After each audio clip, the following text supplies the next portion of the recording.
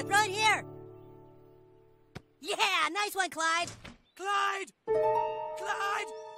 Clyde, get up here! Hurry!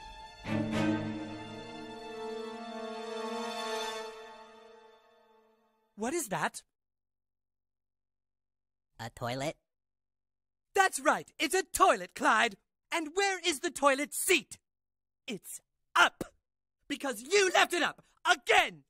We've been through this countless times, Clyde. Okay, Mom, just not in front of my friends, okay? No, not okay. Because you aren't getting the message.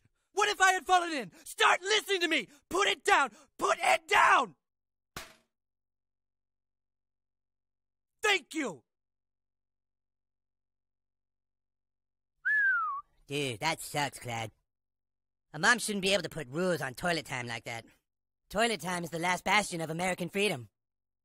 Is your mom always like that, dude? Look, could you guys just not say anything about this at school, please?